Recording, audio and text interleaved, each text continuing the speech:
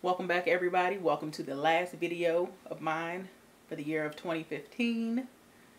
At the end of tonight, we will be ringing in the new year and welcoming in 2016. So let's start with my finish 9 by New Year's finale. The one product I actually did finish was the Summer Vanilla's Body Lotion. It was the coconut one by Bath & Body Works. I finished that. I really did like this scent. I would repurchase this scent if Bath & Body Works came back out with them during the summer. Now, the one, this one was doomed. Doomed. Um, this is the Pomegranate Revealing Peel Off Mask by Freeman. This is all the progress I have made since I started this in August. Yeah.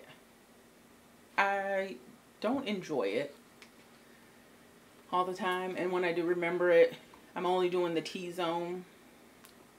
So it's not a lot. Um, I'm supposed to be able to do it two times a week or as often as needed.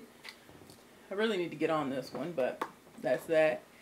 Then the St. Ives Cucumber and Elastin Eye and Face Stress Gel.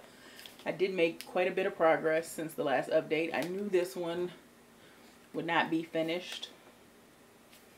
But I've gotten down past the curve here, so we're getting to the home stretch. So this one should be done maybe end of January, sometime in February 2016. And then I have the Pepta Bright. I did make some more progress because last month it seemed like I didn't get anywhere. But I did make progress. Been using this product since the summer, so I say July maybe. So I, we're going to go into the new year with this. So it was a nice bang for my buck. I think it's 20 to $30 at Walgreens and it's by Indeed Laboratories. It's the Pepta Bright. So this was a nice product. I don't use it all over my face like they they say you're supposed to because I don't have discoloration all over my face. I have it in certain spots and it has worked, especially on new, you know, the newer ones they go they fade faster, newer dark marks or spots, but um the older product, the older spots, they are fading. You know, it just takes a little while. But I really do enjoy this and I will be buying that one again.